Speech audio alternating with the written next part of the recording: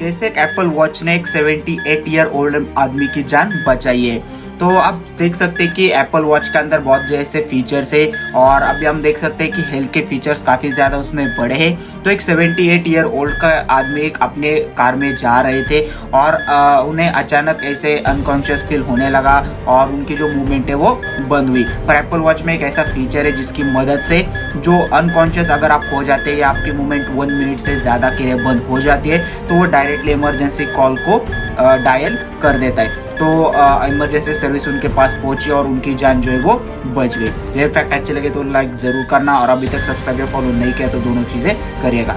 धन्यवाद दोस्तों।